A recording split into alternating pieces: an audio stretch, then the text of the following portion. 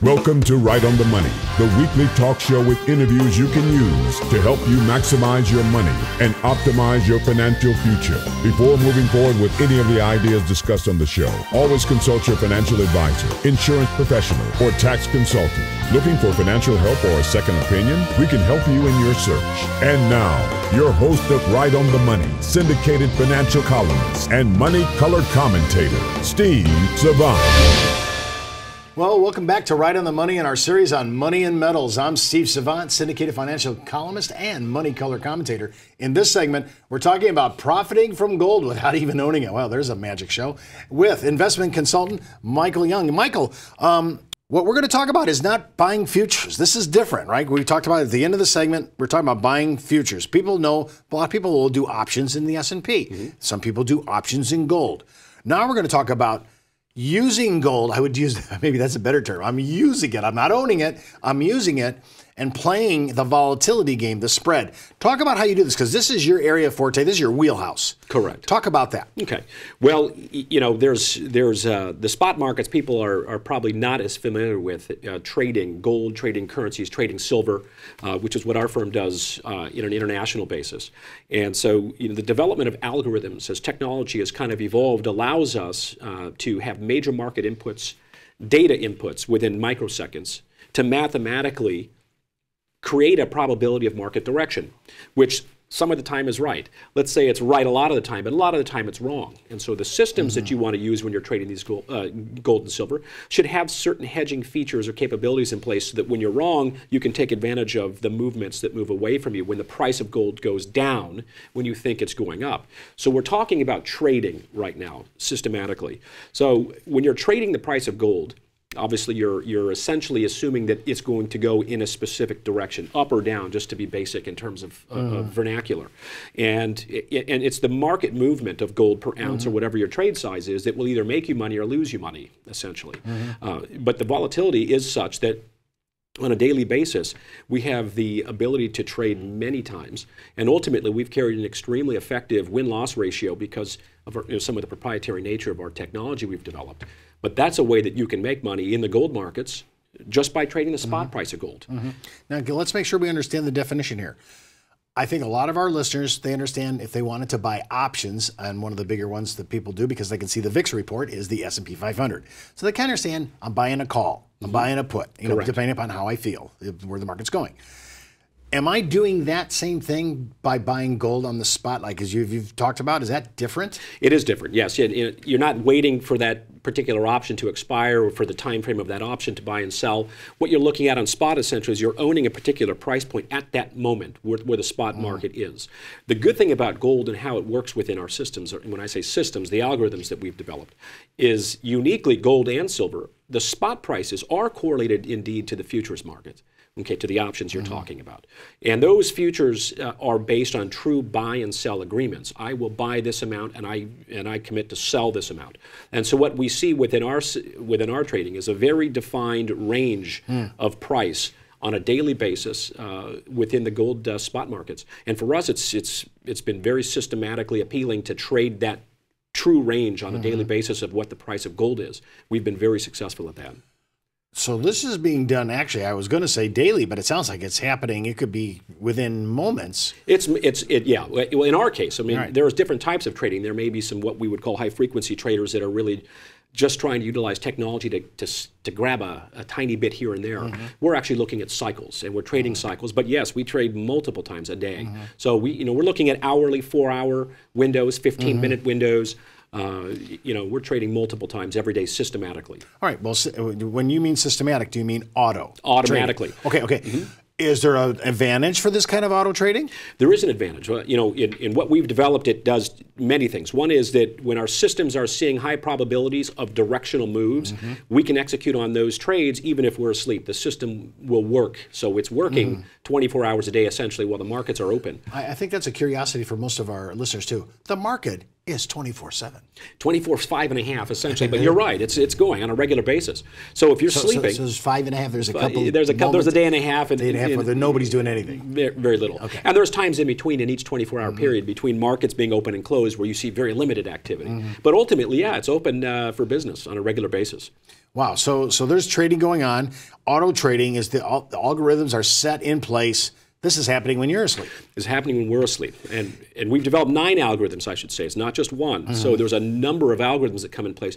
The the the hardest part of developing a proper system is making sure that uh, when a when a direction counter trends against what your your mathematics would have you know said the probability should be how are you hedging or taking advantage of that market move to mitigate loss and to turn that into profits and i can't go into all that on the show today but uh, we've done that and so while it's trading on a regular basis even while we're sleeping the rules of the system are keeping your, your our money safe What kind of examples of successful trading? You know, you- you're doing defensive strategies, Mm-hmm. successful. Why would I want to do that? And what kind of money am I looking at? Well, we've had uh, we've had a very good run. We've had our 29th. We're about to conclude our 29th straight month of gains for our clients.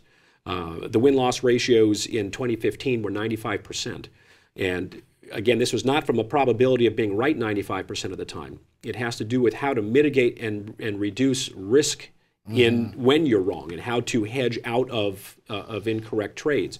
And the way that the system was designed, it's been extremely successful doing that. We have audits that we can share uh, with clients. Uh, but uh, I would say that you know going on 29 straight months is a pretty good track record. Uh, and we had uh, you know high single digit gross gains last month or last year, excuse me, uh, audited. So we, it's been pretty good. Now, besides, do you do anything outside of gold itself too? We trade uh, the silver markets, uh, the USD to the silver to silver, and and, and four current uh, currency pairs, concurrent currency pairs. So we trade currencies at the same time, uh, four different pairs simultaneously in the same systems. Different system for gold, different for silver, different for currency. It's the same navigation uh, algorithmic tools that we've that we've built. For most clients, are they looking to accumulate asset or just accumulate profitability on this, or are they taking it for income? Uh, what kind of people are doing this? Yeah. Okay. So we it depends on the appetite of the client. A lot of people will see the gains, and they're fairly they're fairly aggressive gains. Um, and if you're doing this month after month, which we've we have a history of doing, then you start to see a compounding effect on on your principal growing. So a lot of people will end up keeping their money in. Uh, we do have clients that pull it out a portion out on a monthly basis for uh, supplemental income. And we do have some that when they've gotten to a point where they've acquired uh, enough of a, an account growth that they'll pull their principal out. And then, quote unquote, they're playing on, on somebody else's mm-hmm. dime, if that makes mm-hmm. sense. So it really depends on the client profile. In your experience, and I know that you've had a kind of a, a positive run on that, and who knows how long that'll last. What kind of number are you looking at? Would you say do you guys do rate of return by day, by week, by month? What, what how do you gauge? Well, it, uh, you know, this is one of these forward-thinking statements. We can only look back in terms of what we've done, and the currency mm-hmm. system has done phenomenally well. The gold and silver systems do do even you know even better returns. So, I mean, I would say at mm-hmm. the you know last our audit in 2015 was 9.77 percent monthly mm-hmm. gains. That was prior to splitting with our company, so our clients didn't earn all that, which is a pretty large number. Now the money in though, you could lose some money too. Yeah. Talk about that. Okay, it's a yeah, absolutely you could lose. It's, we consider this more of an aggressive um, um, portion of your portfolio in terms of what it is, because trading you could incur loss. Uh, the fact is, our systems are built ultimately to auto hedge, and so what we feel like there's we've mitigated the downside risks substantially. Our win loss percentage is massive. Um, our risk of ruin ratio is less for 100% of an account balance is less than one hundredth of one percent by audit. So, which would say that you have less than one hundredth of one percent likelihood of losing your money, although you're making these kinds of gains. So you could lose, and we could lose. Uh, We have not had a losing month though in the last 28 months. Uh, we've survived the uh, uncoupling of the Swiss franc to uh, the euro. It was one of the largest largest moves in the financial market in the history of the world, actually. Uh, and we came out of that month with a slight profit, even though we were down substantially on certain positions we had, which for us was a testimony to the hedging strategies. So all of this has got to be, you know, r- the systems have to be very well thought out and very well designed to expect these black swan events so that you don't, you know, have great uh, a great run and then just blow up. We've we've survived quite a few storms. Well, I'm, I'm considering that most people uh, are going to probably hear this segment and say, well, maybe I should just think about this in my discretionary monies, you know, my venture money or adventure money, not really anything that I'm doing to try to generate income to live on. Would you agree with that, or is that too conservative? Or you know, it depends on the client. So you know, we're not we're not advisors, so to speak. Mm-hmm. Uh, you know, we manage money. We manage money. Mm-hmm. We're an offshore entity. Um, when I say offshore, with the other six and a half billion people that live outside of the United States, mm-hmm. um, and we have an international diverse clientele. And so it depends. I would say, you know, that you would never want to put too large of a percentage of your portfolio in any investment. Mm-hmm. Uh, all I can say is that we've worked extraordinarily hard, almost 6 mm-hmm. years in development of the system, uh, whereby we want and need to mitigate the risk factor so that we can stay long term. And so for us, I would look at this as a higher risk opportunity. However, we've done a very good job mitigating that risk. So have it represent a portion of your portfolio. Mm-hmm. And if you want to buy gold, maybe you would take some of your profits that you're making on a monthly basis and actually buy physical gold with it. And that's how I would look at it. Say, mm-hmm. hey, we're trading gold so that you can buy gold. Well, there's so many ways to do this bullion, certificates. I can buy coin. I got jewelry. I'm buying futures. I'm buying gold on spot. Well, listen, that's all the time we have for this week's show. I want to thank Michael Young for being our very special guest. But before I go, remember what the good Reverend John Wesley once said Make all you can, give all you can, save all you can. I'm Steve Savant. We'll see you next week right here on Right on the Money. For more information on this week's money topics, just go to our website at www.rightonthemoneyshow.com and follow Steve's daily postings on Facebook, Twitter, and LinkedIn. When it comes to retirement, money management, small business, insurance coverage, college funding, or budgeting, we have the interviews you can use.